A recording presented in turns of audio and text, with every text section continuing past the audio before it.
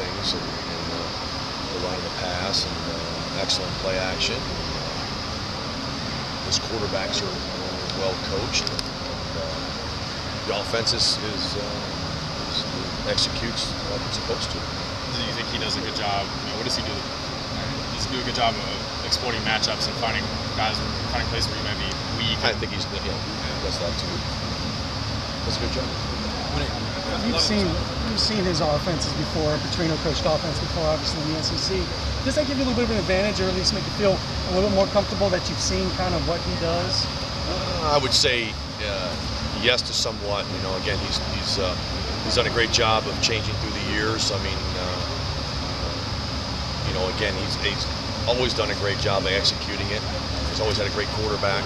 Uh, he's obviously uh, mixes up the run and the pass really well. How much have you guys watched some of that old Arkansas stuff? And, and you how many times have you watched Saturday's game against Kentucky and try to compare the two? watch both quite a bit. And uh, obviously, there's uh, there's some similarities, and, uh, but at the same time, too, there's some there's some difference. A lot of your defensive backs have talked about Iverson this week, maybe a little bit more than ever. That for a young defensive group of defensive backs that maybe haven't seen a lot of this, how important it is that they just understand their keys and they know where they're going at the drive. Well, again, we do that every day.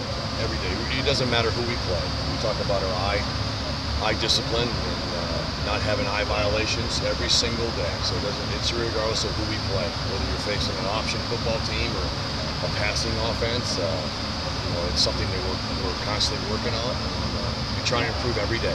You guys preach to the ball. How important is it that you're back group swarms to the ball this week? Because Andrew seems to take two or three guys to bring him down. He hardly ever gets taken down by you guys. Well, that's that's basically kind of our our philosophy is to get to the football and, and uh, try and get 11 guys to the ball. And that's not going to change whether we're playing Western Kentucky or anybody. Bobby Petrino, he really likes to confuse the secondary, likes to run a lot of crossing routes and things like that. Have you noticed those tendencies on film? Um, yeah, we've seen him quite a bit before. Also, when we've, we've gone against him, and uh, he does a good job. And, and uh, no different than you know. Again, he does a great job of, ma- of of mixing up his plays to try and exploit the weakness of the defense, like any other offensive coordinator. He does a great job.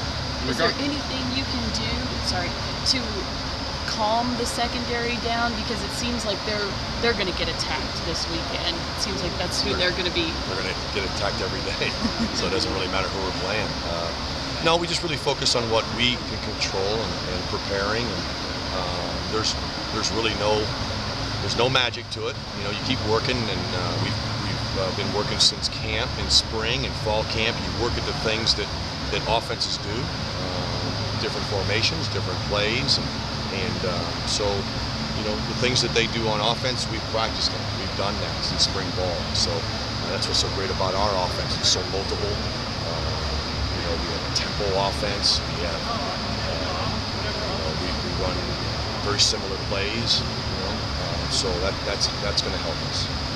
In regards to eye discipline and the see a little, see a lot of mentality, do you think your group took steps forward this week than what you see on the practice field? Uh, it's getting better. It's getting better. It's a work in progress. Uh, again, something that we always uh, talk about, coach every day. And, uh, it's improved a little bit.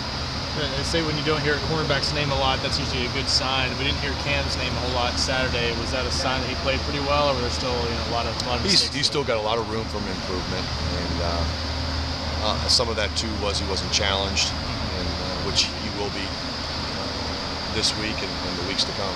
Yeah.